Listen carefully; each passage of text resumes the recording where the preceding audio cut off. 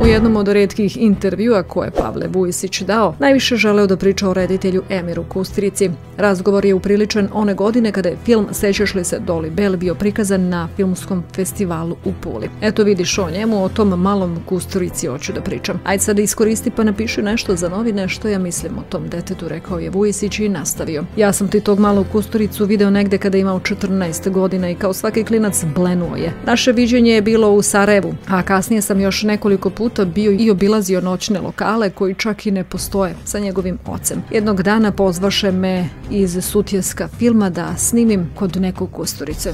Čuš Kusturica. Bile su do duše dve, tri telefonske intervencije i ja odem u Sarajevo. Pogledam jednog momka, čutljivog, hladnog, Znaš, koji mi kaže, jeli čika Pajo, jesi li ti ovo pročitao? Nisam, sinko.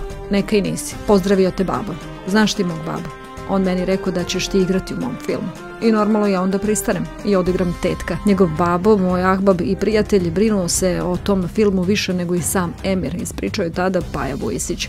Rekao je kako je taj mali Kusturica jedan divan i sladak dečko. Ja, na primjer, nikad nisam doživeo da dođem i odem sa nekog snimanja, a da me neko tako dočeka. Taj Kusturica, taj mali fini dečak, na stranu svi njegovi ostali kvaliteti, ali on je uvek naša vremena, pa makar je dolazi i odlazi u ponoć ili rano jutro i znao je da me sačeka i isprati.